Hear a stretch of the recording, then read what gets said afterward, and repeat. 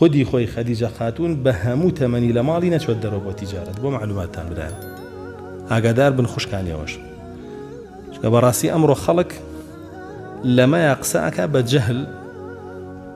و قسەکانی ئەبێتە هۆی تەعندان لە ڕسوڵ الله صلی الله عليه وسلم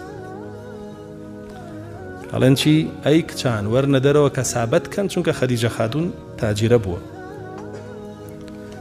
خدیجە خاتون کانت تستاجر الرجال فی مالها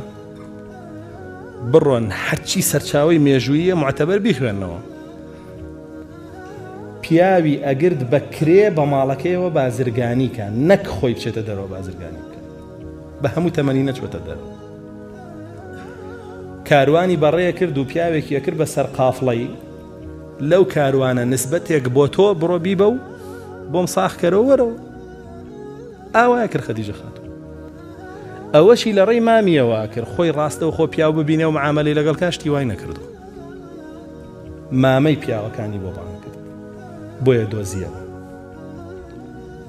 ئەگەر تۆ بڵێ خەدیجە خاتون بۆ خۆی چوەتە دەرەوە دوکانەو دوکان گەڕاوە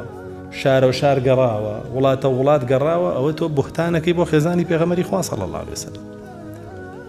تاوانباریەکەی بۆی کە بەبێ مەحڕەم سەفەری کردووە.